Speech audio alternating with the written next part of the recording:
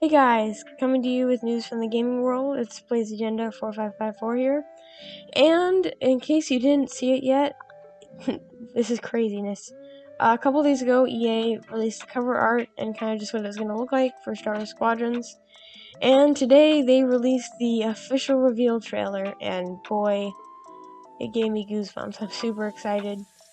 Um, and they released some screenshots of the game and just some general things about the game and it looks really cool. Um, I like more single player games, but unfortunately, it looks to be like have a campaign that's kind of short and then be heavily multiplayer. Uh, uh, like like it's gonna have a couple multiplayer modes, but it's gonna be it's gonna be more centered on multiplayer strategy gameplay. But it seems like it's gonna be more of like not just fly around and shoot other ships. It's gonna be like a uh, strategy based where you know you control multiple ships at the same time or you're flying one ship and you switch to another one to give orders and stuff like that. And it's really cool. It's also crossplay between PC, PS4, and Xbox, I do believe.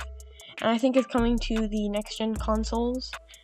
Um, it's also VR. I think I'm not sure if it's. I think it's on VR for PC and PS4, which I don't have a VR headset, but if I could get one, that'd be awesome to get like a VR experience.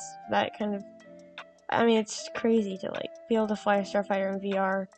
Um, and yeah, guys, I just thought I'd show you some of these screenshots and just talk about the uh, game and just bring this to you guys' attention. And yeah, guys,